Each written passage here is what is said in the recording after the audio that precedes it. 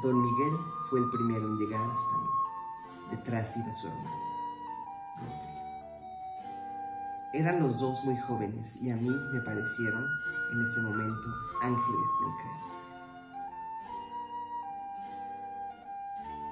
Si le das dos golpes, anda con el ritmo de tus pies. Entre las ondas de tu falda, dos peces flotan entre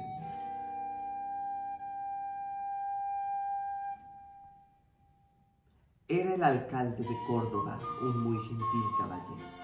Era creyente de Alá, musulmán de pensamiento. Tenía una hija tan bella cual las estrellas del cielo.